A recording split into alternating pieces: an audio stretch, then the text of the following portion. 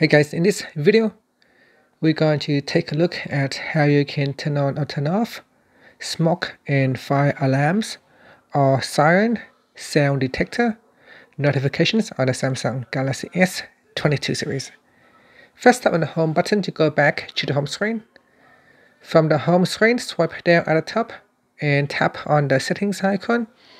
In settings, swipe up to go down and tap on accessibility Next, tap on Hearing Enhancements.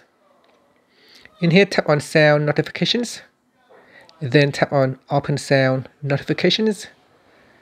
Next, on this screen here, tap on the Settings icon. Then tap on Sound Notifications.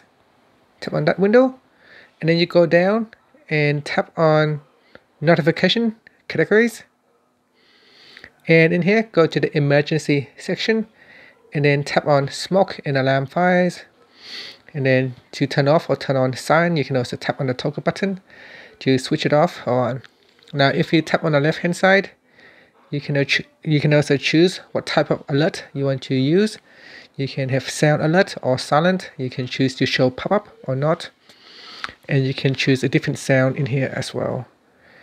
And that's it. Finally you can tap on the home button to go back to the home screen Thank you for watching this video. Please subscribe to my channel for more videos.